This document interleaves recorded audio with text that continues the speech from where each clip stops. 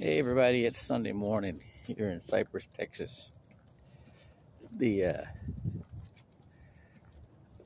I'm going to go to McDonald's and get a cup of coffee. It's really interesting why people McDonald's doesn't market right.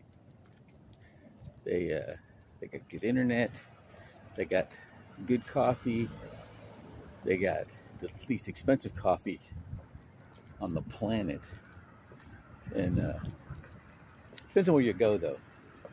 Like uh, one coffee shop's 54 cents for uh, senior coffee, you know, small coffee with a free refill. And another one down the road it's 88 cents. It's kind of funny. Why is that? You know, and it made me think of churches and pastors and and uh, you know the all the different flavors, you know, that they have, they they preach, and um, and uh, and then here Peter, the apostle Peter, wrote the Didache or Didache, and um, and I got it. It's a little pamphlet, and I uh, haven't really read it. I'm gonna probably dig into it today you know, and my main, uh, you know, there's, there's this guy, Mocarone, who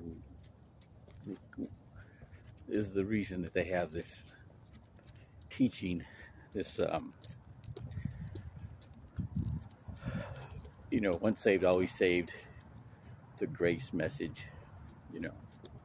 And when you really look at what we're being asked to do, that all these other, everybody thinks is too much, is really understand through the scriptures what God said to us. And there's so much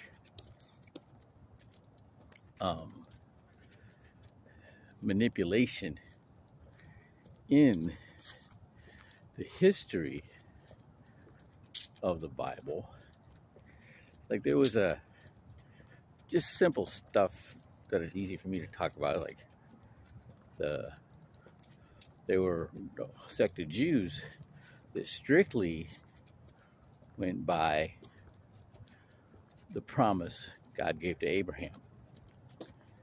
And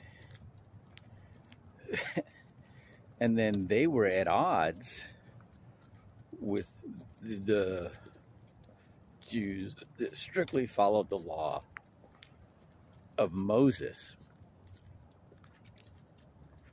Okay. Now,